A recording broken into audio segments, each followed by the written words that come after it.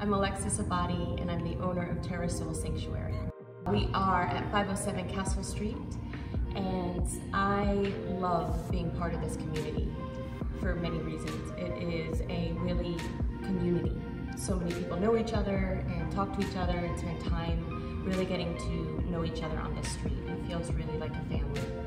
We offer all sorts of classes from beginners, gentle to vinyasa, um, we have gentle meditation classes, we have alignment-based classes. So I started practicing um, here and there when um, I was in a corporate job to find a way, a better, healthy way of managing stress and anxiety.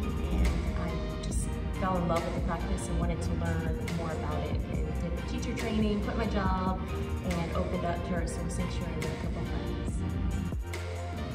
Just feel really honored and privileged to be here, a part of Terra Sol, and on the street, and offering something where a community space where people can come and connect with each other and